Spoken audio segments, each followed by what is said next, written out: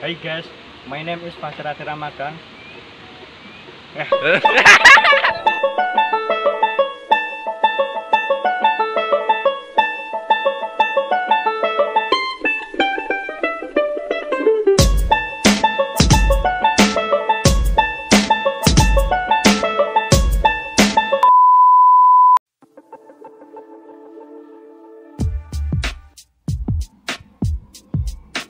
This is the Pala Reservoir, a reservoir in one of the region in Karanganyar, Central Java.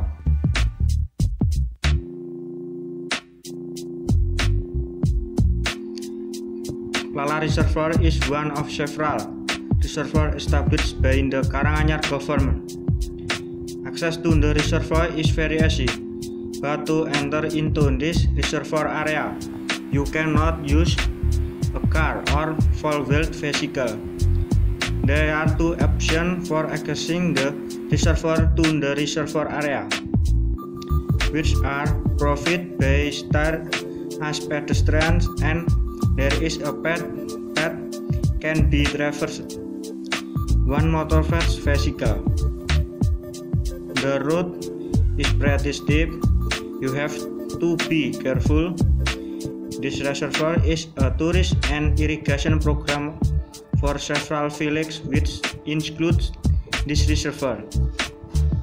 The Pala Reservoir itself has an area of up to 2 hectares and cover this between two villages at once, namely two villages of Gedongrejo and Lajar. Unfortunately, the condition of the reservoir as a tourist object has not been optimally developed. The environmental situation and understanding of the potential of tourists have not been fully developed by the people of this region. The condition of the reservoir is also starting to be alarming. The floodgates that has been rushed and is not well maintained. The field until now has covered all parts of the reservoir. Estimate by rubbish consisting of organic rubbish carried by the current from family blocking the reservoir door.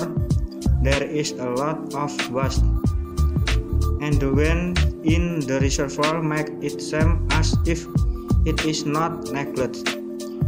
So the main function of the reservoir is entirely only for aquatic canal to the farmer rice field. Neglect of the reservoir make it as a place for boyfriend and girlfriend.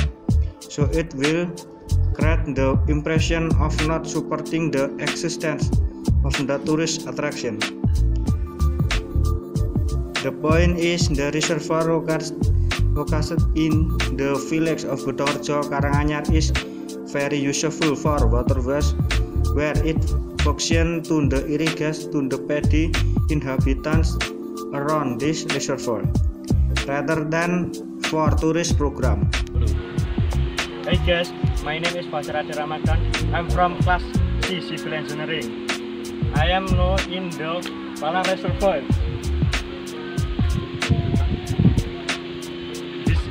Reservoir has a depth of about 20 meters and an area of about 100 square meter.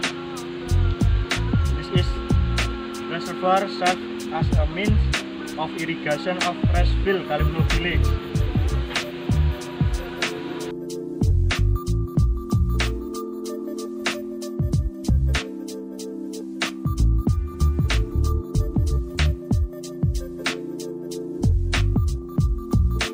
Guys for me vlog thank you for watching and see you later